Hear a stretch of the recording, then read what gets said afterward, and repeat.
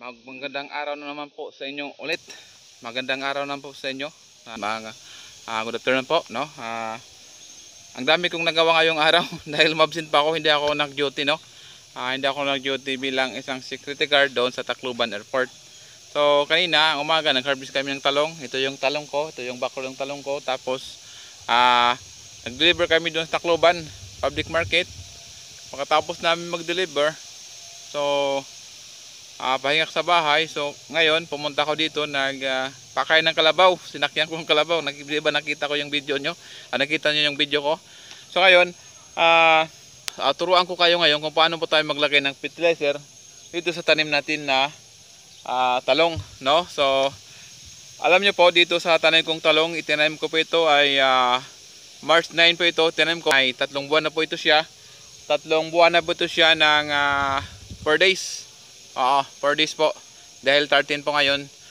So, patuloy pa rin tayo na nag-harvest sa talong natin. So, kanina nga nag-harvest kami ng talong sa pang 14 harvest po. So, nakakuha, nakakuha kami kanina ng harvest na kilo siguro.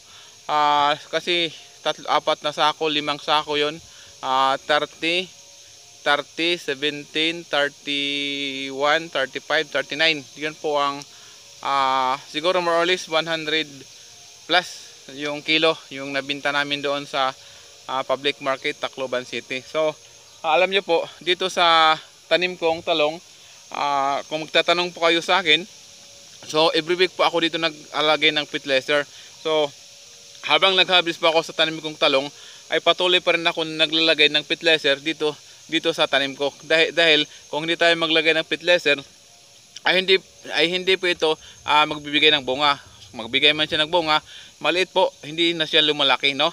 At saka hindi na po malusog yung katawan sa tanim natin, lalo na po yung talong. So, ngayon, sa density application yon sa paglagay ko ng every week. So ngayon, ah, ang ipapakita ko po sa inyo ah, ng na paglagay ng fertilizer dito sa tanim kong talong dahil malaki na po to siya ngayon.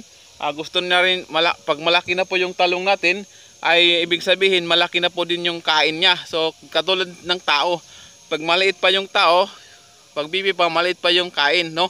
Pag lumaki na yung tao, malakas na kumain. So ganun din sa tanim natin. So ngayon dahil ma lab, ah, labing apat na po tayo dito ng harvest. So ibig sabihin malakas na po siya kumain ng fertilizer. Ah, maglagay na po tayo ng fertilizer. So ang ang ang method na gamitin po natin dito, ito po ay sinasabing side dressing. Okay?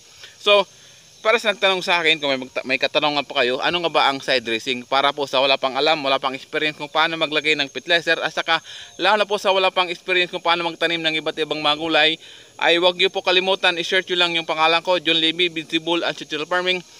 Pag lumalabas po yung ah, pangalan ko, John Levy, pindutin nyo po, pindutin nyo po yung profile picture ko. Yung profile picture ko po ay meron pa akong hawak na ampalaya or, or ah, bitter gourd, okay? Yun po. So doon makita nyo po yung ah, iba't ibang sa iba't ibang uri sa pagtanim ng gulay. So kahit kunti pa lang yung na-upload ko na uri ng gulay na pinakita ko sa inyo ay ah, may matutunan na po kayo sa akin kahit sa kunting kalaman lang po. Okay? So mayroon video na po ako ng 100 108 na video na na-upload sa YouTube channel ko. So ibig sabihin, maraming video na po akong nagawa. So ngayon, ah ipakita ko sa inyo ah, kung paano tayo maglagay ng fertilizer sa side dressing sa side dressing application. Panoorin niyo po yung aking video. So, ah okay, ah, patuloy po tayo. So, ang ibig sabihin ng side dressing, kasi sa pagdating sa fertilizer application, ang ginagawa ko lang dito, ang in-apply ko lang dito sa tanim ko, kahit anong tanim ko, basta gulay, ang ang tatlong tatlong pam, tatlong ah, method lang yung gin- ginagamit ko pag nag-apply ako ng fertilizer sa tanim ko. Yung unang method ko, densing application. Ano nga ba ang densing application? Yung densing ap- application, ito po ay ah tinutunaw muna natin yung fertilizer, hinahalo sa tubig bago natin apply doon sa tanim natin. Okay? So, sa palang, pangalawa kong ah, fertilizer application, yung foliar. Ano ba, ang- ano nga ba ang ibig sabihin ng foliar? So, ang foliar ito po ay ini-spray natin siya. Ito po ay para ma-develop yung flowers and fruit para mabuo po siya para hindi siya mahulog yung para hindi mahulog yung mga yung mga flower niya. So, para kumapit. Okay. Saka pagpaganda yun sa puli, maganda rin sa pu- foliar application para malusog po yung dahon natin ng tanim natin. Oh, kasi yung foliar application ibig sabihin ah, pataba yan sa mga flower niya, sa sa bunga niya sa, saka sa dahon niya. Yun ang foliar application. So ngayon, yung pangatlong gamit ko, ito pa yung sinasabing side dressing. So ang side dressing po, ito po ay mula sa abono, diretso natin ilagay sa lupa. Yun po ibig sabihin ng side dressing. Katulad nito, ito po yung gamitin natin. Ito po yung ah, complete fertilizer. Complete po ito. Iba-iba kasi yung kulay ng complete fertilizer dahil iba-iba po yung kumpanya na gumagawa nito. Okay? So may puti, may kulay pula at saka may kulay brown. Yun po ang pagkaiba-iba ng complete fertilizer. So gagawa, dalawa, dalawa ang gagamitin natin dito. Complete fertilizer at saka 4000 yung urea, yung urea po. So, okay, unahin muna natin yung ah yung ah, complete muna, yung unahin natin. Okay? So patuloy tayo, sundan niyo po yung aking video. Bawat ito po yung ah, ito po yung talong natin. Ito yung ah ito yung tapat niya. So bali dito natin ilagay sa gitna, sa gitna yung fertilizer. Bawat isang butas ah isang kutsara lang ilagay natin. Yun lang. Yun po ang sinasabing sinasabing ah side dressing application. Okay? Patuloy po tayo.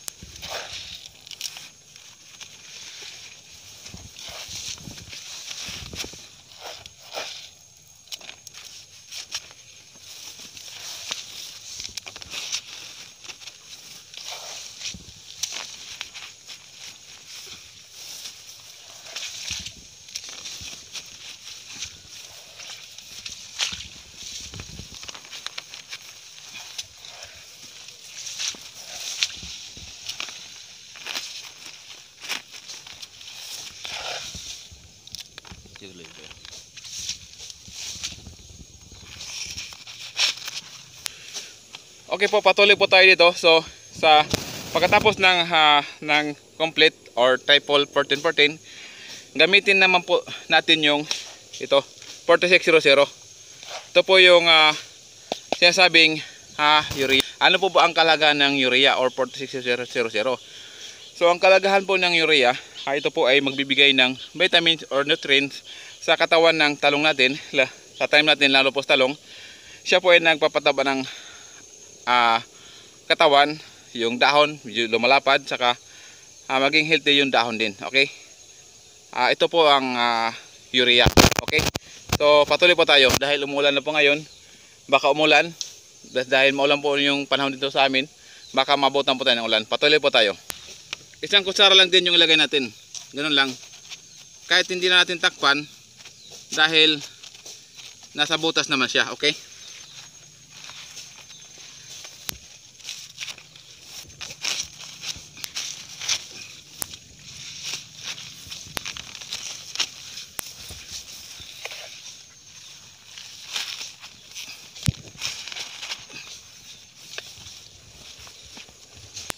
Okay, ah yun lang po yung ah, yun lang po ang i-share ko sa inyo kung, kung, paano po tayo maglagay ng fertilizer sa tanim kong talong. So, ang ipinakita ko po sa inyo ngayon, ito po ay sinasabing seed dressing. So, tatapusin lang namin to. Ipinakita ko lang po sa inyo kung ano nga ba ang proseso sa paglagay ng fertilizer dito sa tanim kong talong sa seed dressing application. Sa seed dressing fertilizer or sa seed dressing method. Okay? Lang po ang i-share ko sa inyo. Ah, Maraming salamat nga pala sa inyong lahat. Okay? Ah, bago ko po tapos ng video, so thank you sa lahat ng mga nag-subscribe sa YouTube channel ko. Ah, thank you so much sa inyong lahat sa mga bagong kaibigan ko, sa ba- bag sa mga bagong nag-subscribe sa YouTube channel ko, yung mga kaibigan ko sa Facebook, sa mga ah, kaibigan ko dito sa Mundo YouTube. Maraming salamat po sa inyong lahat. Sana ah, wag po kayo magsawa na supo- suportahan or subaybayan yung aking YouTube channel dahil dito sa YouTube channel ko ay marami po kayong matutunan sa akin dahil itong channel ko po ay para po ito sa inyong lahat. So sa pagitan ng mga video ko, kung panoorin nyo po ay may matutunan po kayo sa akin kahit sa kunting kalaman lang po. Yun lang po ang share ko sa inyo. Ah, once again, ah, thank you so much yung lahat. Okay, ah, wag rin kalimutan na parang, palagi po tayo magdasal sa mahal nating Panginoon. Okay, so yung talong ko, mga yung tubo hanggang ngayon ay ah, nakakataba talaga ng puso. So ang laki ng tulong niya sa amin ngayon sa panggastos araw-araw dahil naka-income na pa ako dito kahit papaano kahit konti lang kahit konti lang po yung time natin importante ay may income po tayo no so hindi na, hindi na po tayo nakapangutang okay yun lang po yung ah, share ko sa inyo. Thank you for watching. Bye po sa lahat.